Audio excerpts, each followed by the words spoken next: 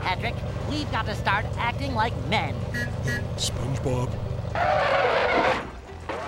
I'll be right back.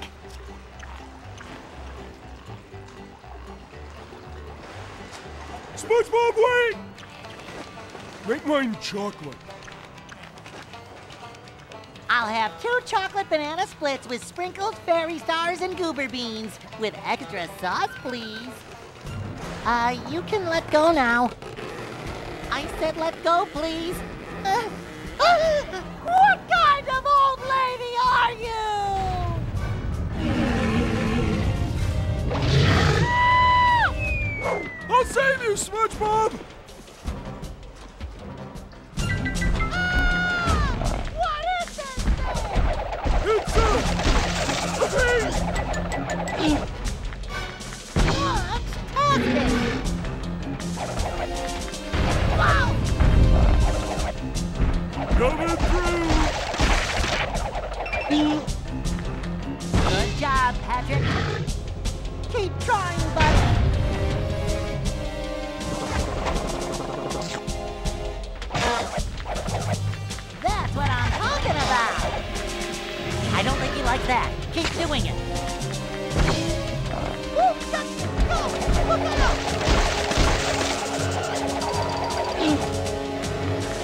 job, Patrick.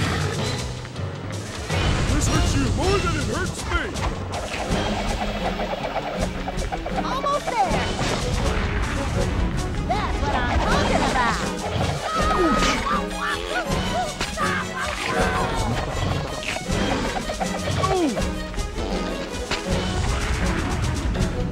Keep trying, buddy.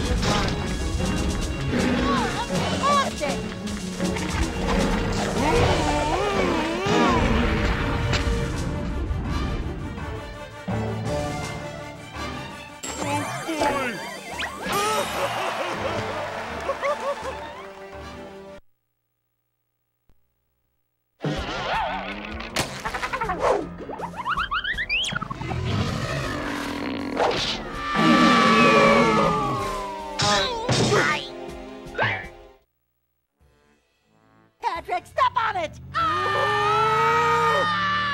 Come on, kiddies, have some ice cream. Jump for it, Patrick! And so the hideous creature was vanquished by an even more hideous creature coming from the deep ocean trench. Well, we lost our car again. Never mind the car. Where's the road?